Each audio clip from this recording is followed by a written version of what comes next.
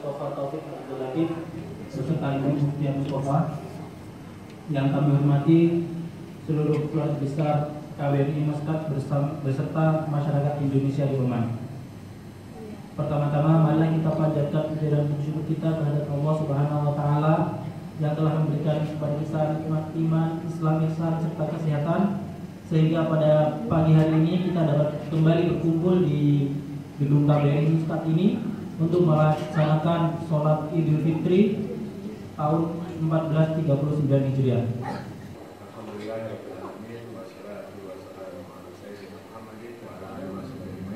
Alhamdulillah kita telah memasuki bulan uh, Sawal ya yaitu yang menunjuk pada hari ini. Tadinya saya sudah mengatakan bahwa Sawal satu Sawal itu akan jatuh pada hari. Indonesia juga masuk satu Sawal pada hari ini, jadi kita hari ini kita akan melaksanakan sholat Id, minal aidin wal faidin, maaf lahir batin, dan Bapak Duta Besar atas sambutannya. Selanjutnya kami mengajak seluruh hadirin untuk mengikuti sholatnya berjamaah dilanjutkan dengan khutbah yang akan dibawakan oleh uh, Ustaz Hasan Ismail selaku imam sekaligus. Waktu dan tempat. Assalamualaikum warahmatullahi wabarakatuh.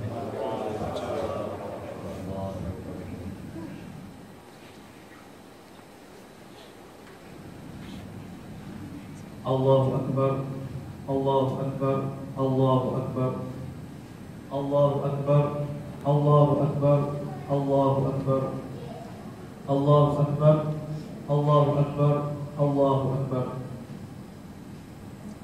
الله أكبر. يرفع بالطاعة أقواما ويضع بالمعصية آخرين. الله أكبر. يثيب الصائمين ويعاقب الفاطرين. الله أكبر. والعزة لله ولرسوله وللمؤمنين والذلة والهوان والصغار والدون للشيطان وأتباعه الكافرين والعصاة الفاجرين.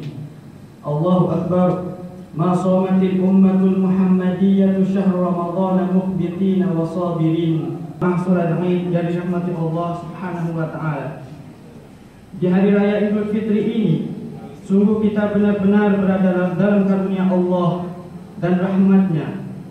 Karena saat ini kita dikumpulkan oleh Allah subhanahu wa ta'ala di tempat ini dengan tujuan menggapai kemuliaan di hadapan Allah subhanahu wa ta'ala. Maka marilah kita merenung sejenak akan keberadaan saudara-saudara kita yang belum Allah pilih untuk mendapatkan rahmatnya yaitu mereka yang saat ini telah berada dalam sebuah tempat berkumpul akan tetapi Allah murka kepada mereka. Fakir miskin dan orang-orang yang lemah adalah medan yang luas bagi mereka yang ingin mencari keberkahan. Rasulullah Shallallahu Alaihi Wasallam bersabda, "Abuni du'afa'akum fa innakum fa innakum innama turzaquna wa tunsaruna bi du'afaikum."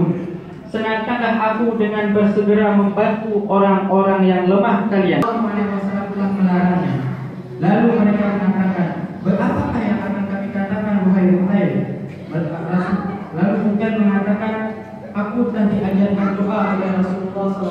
Sallallahu Wasallam yang mengatakan, Barakallahu wa barakallahu wa jama'a bainakuma fi khair. Apabila apabila keberkahan itu ya Allah mengertikanlah dia dalam ilmu agama. Maka Allah pun mengabulkan doa Nabi Shallallahu Alaihi Wasallam. Dan Allah mengaruniakan ilmu yang luas kepada Abdullah bin Abbas Salah seorang sahabat mengatakan, Ra'aitu ibn Abbasin qad ijtama'a alaihi ulufun min tullabil hadis. Aku telah melihat Abdullah bin Abbas بمنهج الله قال تعالى ولو أن أهل القرى آمنوا واتقوا لفتحنا عليهم بركات من السماء والأرض ولكن كذبوا فأخذناهم بما كانوا يكسبون هذا وصلوا وسلموا على إمام المرسلين وقائد نور المهاجرين كما كما أمركم الله ذلك في محكم في محكم كتابه حيث قال عز قائلا عليما إن الله وملائكته يصلون على النبي.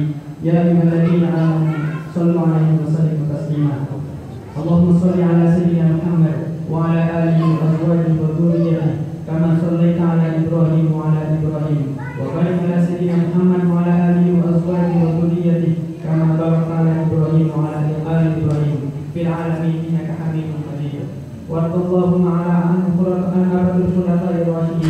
أبي بكر عمر عمر وعمر وعثمان وعلي وعلى بقية الصحابة أجمعين وعنا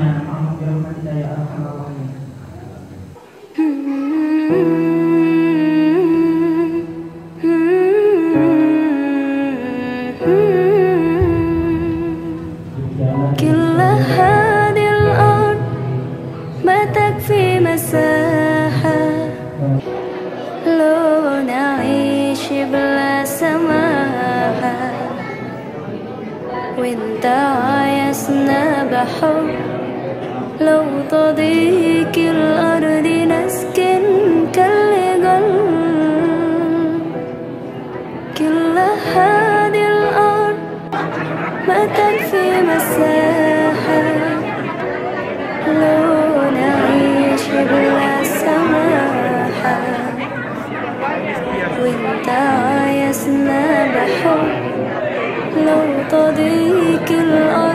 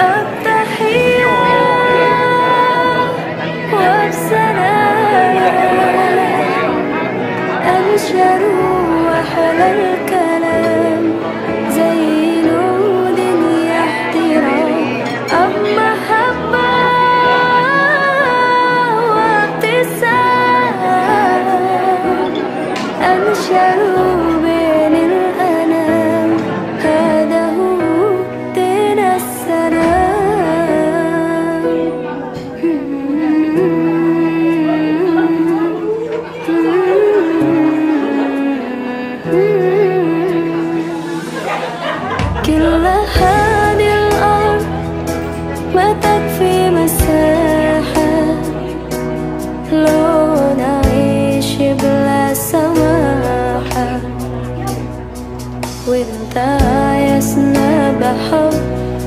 لو طبيعي